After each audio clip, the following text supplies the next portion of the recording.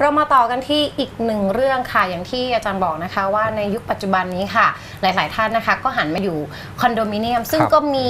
หลากหลายชั้นมากบางครับทีเนี่ยก็ 20 30 ชั้นเลยนะคะ ในการที่จะเดินทาง ไม่ว่าถ้าเกิดเราเนี่ยจะครับออกจากคอนโดเองก็ต้องมีการรอลิฟต์นะคะลิฟต์ขนส่งต่างๆ แต่ถ้าเกิดเป็นในกรณีของผู้ป่วยล่ะคะ แล้วก็กรณีฉุกเฉินฉุกเฉินต่างๆล่ะคะ จะเกิดอะไรขึ้น ถ้าเกิดไม่ได้มีการรองครับรับหรือว่าดูแลในเรื่องนี้นั่นเองค่ะนายแพทย์ไพโรธเครือการจนานะคะ หัวหน้ากลุ่มงานเวชศาสตร์ฉุกเฉินค่ะ โรงพยาบาลราชวิถีนะคะ กล่าวถึงกรณีปัญหาการเคลื่อนย้ายผู้ป่วยฉุกเฉินลงจากตึกสูงค่ะ ซึ่งเป็นปัญหาการเคลื่อนย้ายผู้ป่วยฉุกเฉินลงจากตึกสูงในพื้นที่กรุงเทพมหานครนะคะ ก็เป็นปัญหาที่เรื้อรังมานานด้วยค่ะ ซึ่งในยุคปัจจุบันนะคะก็มีการก่อสร้างว่าจะเป็นทั้งอพาร์ตเมนต์คอนโดมิเนียมนะคะที่มีความสูงเป็นจำนวนมากค่ะ และเมื่อเกิดเหตุเจ็บป่วยฉุกเฉินที่ต้องมีการเคลื่อนย้ายนะคะ ลงจากตึกสูงค่ะ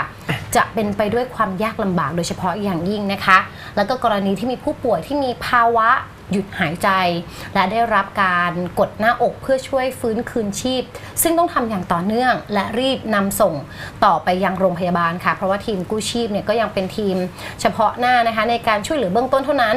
ในขณะที่เครื่องมือแล้วก็ทีมการรักษาจำเพาะทางการแพทย์ส่วนใหญ่ก็อยู่ที่โรงพยาบาล ดังนั้นเนี่ยถ้าเกิดจะต้องมีการเคลื่อนย้ายอย่างฉุกเฉินเนี่ยอาจจะทำให้เป็นปัญหาต่อไปได้นั่นเองนะคะ จริงๆแล้วเนี่ยสำหรับ ประเด็นข่าววันนี้ของเราที่เราจะมาพูดคุยกันนั่นก็คือ เรื่องของทีมกู้ชีพต่างๆ ค่ะ ในการที่จะช่วยทำให้ผู้ที่ได้รับบาดเจ็บว่าผู้ป่วยเนี่ยมีโอกาสรอดชีวิตได้มากขึ้นนั่นเองค่ะ ทีมกู้ชีพจะดำเนินการได้ยังไงอะคะเพื่อที่จะช่วยคนไข้หรือว่าคนป่วยเนี่ยเพราะว่าอย่างที่เนื้อหาข่าวบอกก็คือจะต้อง บางท่านต้องมีการครับปั๊มหัวใจใช่ครับตลอดเลคือยคือนี่เรื่องนี้ถือว่าเป็นการจุดประเด็นประเด็นเอ่อจุดประเด็นในสังคมเลยนะครับค่ะคือปกติเนี่ยคือเป็นเรื่องที่เราคาดไม่ถึงจริง ๆ แม้แต่กระทั่งผมเองผมก็อยู่คอนโดมิเนียมนะครับแล้วก็ลิฟต์ในคอนโดเนี่ยคุณกุ๊กไก่ปกติเนี่ยลิฟต์ในคอนโดมันจะเล็กๆแคบๆใช่ไหมจำคกัรัดบคนขึ้นด้วยจำกัดใช่ครับน้ำหนักด้วยใช่ครับค่ะแล้วก็ถ้าเกิดว่าเราลองคิดกันว่า สมมติว่ามีคนที่เอ่อเจ็บหน้าอก นะครับอยู่ที่ชั้น 25ค่ะอะแล้วก็โทรไปบอกว่าเนี่ยเจ็บหน้าอกนะอะแล้วก็ตอนเนี้ยเอ่อหมายถึงว่าหมดสติแล้วนะครับอะถ้าเกิดว่าทีมกู้ชีพขึ้นไปชั้น 25 แล้วไปนำผู้ป่วยที่อยู่อะชั้น 25 ลงมา ค่ะ แล้วก็เจ็บหน้าอกเนี่ยแล้วก็หมดสติ เราสงสัยว่าจะมีเรื่องของเอ่อหัวใจวายแล้วก็หัวใจวายเฉียบพลัน แล้วก็ตอนนี้เนี่ยจะหัวใจหยุดเต้น เราก็ต้องมีการกู้ชีพมีการกดหน้าอกใช่ไหมครับปกติเขาจะต้องมีเตียงมีอะไรนะครับแล้วถ้าเกิดว่ากู้ชีพไปด้วย แล้วก็เอาลงมาที่คอนโดด้วยมันคงทุลักทุเลน่าดูนะครับอืมแต่แต่เอ่อจะบอกด้วยว่าพื้นที่ที่อะจำกัดรับใช่ไหมคะอาจารย์ อันนี้เกิดว่าจะไปลิฟต์เนี่ยก็ต้องรอลิฟต์สมมติว่าจะใช้ลิฟต์ฉุกเฉินเป็นลิฟต์ขนของเนี่ยถ้าเกิดว่าบอกบอกเอ่อคอนโดบอกนิติบุคคลเนี่ยเพื่อจะมาลิฟต์ฉุกเฉินอะค่ะลิฟต์ขนของ คุณกุ๊กไก่เห็นลิฟต์ขนของไหม มีเวลาปิดนะคะ จะลิฟต์แคบๆใช่เล็กๆกว่าอีกนะครับหมายถึงว่าส่วนใหญ่แล้วที่ที่ผมเจอนะครับคือว่าลิฟต์ขนของเนี่ยก็จะเล็กๆแคบๆกว่าลิฟต์ปกติอีกค่ะใช่ไหมครับเพื่อการเอ่อประหยัดในเรื่องของพื้นที่ใช้สอยใช่ไหมครับเพราะเนี่ยเอ่อถือว่าเป็นการจุดประเด็นเลยว่า ถ้าเกิดว่าคอนโดที่สูงๆ แล้วมีคนอยู่ร่วมกันมากๆเนี่ยอันนี้อาจจะต้องมาคุยกันเรื่องของกฎหมาย การที่จะออกมากฎหมายว่า ในคอนโดมิเนียมเนี่ยถ้าเกิดว่าจะสร้างเนี่ยสูงๆ แล้วมีผู้อยู่อาศัยมากกว่าเท่านี้เท่านั้น เป็นเรื่องของความสำคัญว่าถ้าเกิดว่าเกิดเหตุฉุกเฉินขึ้นมาแล้วเนี่ยจะลำเลียงผู้ป่วยลงมายังไง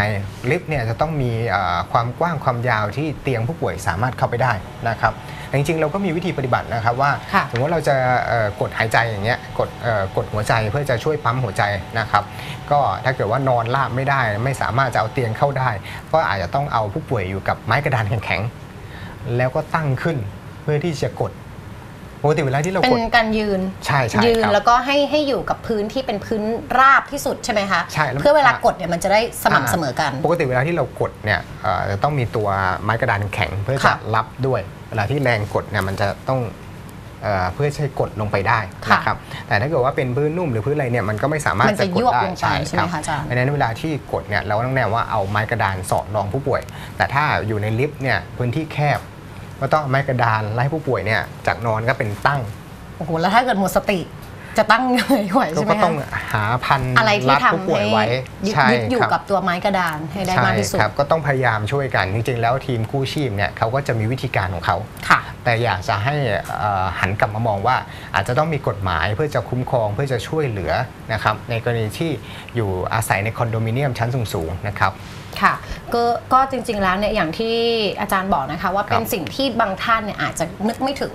เรามีลิฟต์ในการเคลื่อนย้ายเอ่อขนส่งบุคคลอือฮึหรือว่าเป็นลิฟต์ขนส่งสินค้าขนส่งของเฟอร์นิเจอร์ต่างๆ แต่เราอาจจะไม่ได้มองถึงเรื่องของลิฟต์ในการย้ายผู้ป่วยฉุกเฉินครับในอนาคตเนี่ยอาจารย์คิดว่ามันจะมีความสำคัญมากน้อยแค่ไหนอะคะต้องมีความสำคัญเลยนะครับคือแม้กระทั่งผมเองที่เป็นบุคลากรทางการแพทย์เนี่ยผมก็คิดไม่ถึงนะ นึกไม่ถึงเรื่องนี้ แต่วันนี้เนี่ยสังคมจุดประเด็นเนื่องจากเอ่อคุณหมอที่เขาทำงานด้านกู้การกู้ชีพ หรือว่าแผนกฉุกเฉินเนี่ยเขาจะพบภาวะอย่างเนี้ยได้บ่อยนะครับแล้วเนี่ยวันนี้เขามาจุดประเด็นกับสังคมว่ามันควรจะต้องมีแล้วล่ะอย่างน้อยๆก็สามารถช่วยชีวิตในคนที่ป่วยที่แบบต้องมาเอ่อทำการกู้ชีพ แล้วก็ต้องขนส่งแล้วก็เคลื่อนย้ายผ่านตรงนั้นนะครับอันนี้มันควรจะต้องมีนะครับค่ะ ซึ่งในปัจจุบันเนี้ยอาจจะยังไม่ค่อยมีครับเท่าไหร่นะถ้าถ้า เกิดพูดกันตรงๆเนี้ยน่าจะน้อยมากๆเลยนะคะอาจารย์ เพราะถ้าเกิดมีเหตุการณ์แบบฉุกเฉินเกิดขึ้นเนี่ยเวลาการเคลื่อนย้ายเนี่ยก็จะเป็นไปตามตามแบบว่าสถานที่แต่ละสถานที่ลำบากด้วยต้องบอกว่าลำบากครับลำบากด้วยนั่นเองนะคะ โอกาสที่จะทำให้ผู้ป่วยรอดเนี่ยมันมันมันขึ้นอยู่กับจุดนี้ด้วยหรือเปล่าคะอาจารย์ มีส่วนครับมีส่วน แต่ว่าทีมกู้ชีพที่ขึ้นไปเนี่ยเขาต้องมีการฝึกแล้วล่ะนะครับว่าถ้าเกิดว่า เข้าไปในพื้นที่ที่แคบๆแล้วคุณจะต้องช่วยเหลือผู้ป่วยในการกดหมายถึงว่ากดหน้าอก เพื่อจะปั๊มหัวใจเนี่ยจะต้องทำยังไงอาจจะต้องเตรียมไม้กระดานไปจะต้องอกดกับพื้นที่ที่แข็งอะไรเงี้ยแล้วจะต้องมัดผู้ป่วยไว้ก่อนจะต้องมีวิธีการไงเขามีละแต่ถ้ามีลิฟต์ที่มีความกว้างแล้วก็สามารถขนส่งได้แบบ รวดเร็วสะดวกนะครับ อันนี้ก็สามารถช่วยประหยัดเวลา และก็ช่วยทำให้เอ่อหมายถึงว่าการทำงานเขาได้ดีขึ้นนะครับค่ะ มีโรคอะไรบ้างคะอาจารย์ หรือว่ามีอาการอะไรบ้างที่ค่อนข้างน่าเป็นห่วง แล้วก็มีความจำเป็นอย่างยิ่งในการที่จะเอ่อถ้ามีเรื่องของการขนส่ง หรือว่าการขนครับย้ายที่รวดเร็วเนี่ยจะทำให้โอกาสรอดก็มีมากยิ่งภาวะขึ้นฉุกเฉิน ฉุกเฉินที่ถึงแก่เอ่อหมายถึงว่ามีความอันตรายถึงกับชีวิตนะครับไม่ว่าจะเป็นเรื่องของเออการที่ต้องหัวใจวาย แล้วหัวใจเต้นฉับพลันแล้วก็ต้องปั๊มหัวใจ หรือภาวะอะไรก็ได้ที่ที่ต้องมาทำการปั๊มหัวใจนะครับและเนี่ยอันเนี้ยจะมีความสำคัญมากนะครับหรือแม้กระทั่งโรคร้ายแรงบางโรคที่ต้องการใช้เวลานะครับ ก็คือว่าเอ่อโรคหลอดเลือดสมองค่ะตีบอย่างเงี้ยนะครับมีเรื่องของการอ่อนแรงครึ่งซีกถ้าไปโรงพยาบาลเร็วภายใน 3 ชั่วโมงเนี่ยก็จะสามารถช่วยผู้ป่วยได้ นะครับเพราะฉะนั้นเนี่ยเวลาที่การเคลื่อนย้ายผู้ป่วยในการถ้าเกิดยิ่งทำได้เร็วเท่าไหร่ก็ยิ่งดีเท่านั้นนะครับค่ะ จริง ๆ แล้วในรายการเราก็มีหลาย ๆ โรคที่เรามักจะเอามานำเสนอนะครัคะบว่ามีเวลาจำกัดบางโรคเนี่ยเป็นหลักแค่ไม่ไม่ถึง 1 ชั่วโมงด้วยครับซ้ำใช่ไหมคะ ที่จะต้องรีบพาผู้ป่วยเนี่ยไปโรงพยาบาลนะคะ ดังนั้นเนี่ยเป็นอีกหนึ่งหนึ่งสิ่งที่อยากจะให้เอ่อไม่ว่าจะเป็นทั้งเจ้าของอาคารหรือว่าสถานที่หลาย ๆ สถานที่นะครัคะบมองเห็นถึงความสำคัญในเรื่องของริฟต์นะคะ ในการที่จะย้ายผู้ป่วยฉุกเฉินต่อไปในอนาคตนั่นเองนะคะ